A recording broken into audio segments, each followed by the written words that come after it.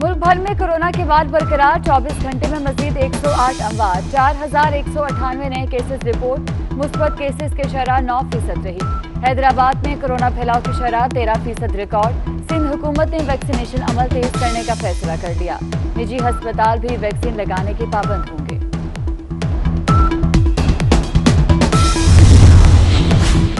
Police के बहादुर अफसर SSP Ashraf मार्च शहीद की 24वीं बरसी। स्पीकर पंजाब असम्बली परवेज इलाही का शहीद को खराज अकीदत।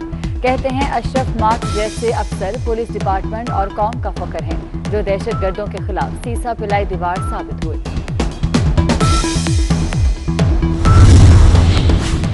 सीएसएस इम्तिहान 2020 के नतज का ऐलान। साढ़े अठारह हज़ार से ज़्यादा उम्मीदवारों ने तहरीरी इम्तिहान में हिस्सा लिया। सिर्फ़ तीन सौ चौंसठ कामयाब करार पाए। कामयाबी का तनासब तकरीबन दो फ़ीसद रहा।